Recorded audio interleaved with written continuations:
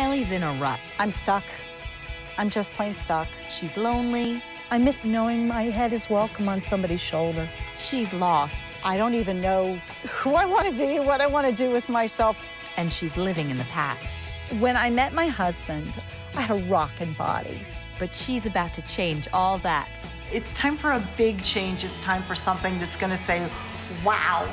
From refreshing her look Do not go outside of the house in this. to rescuing her run-down body, I feel like I'm in somebody else's really frumpy body.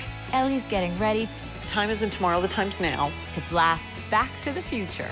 No guts, no glory, right?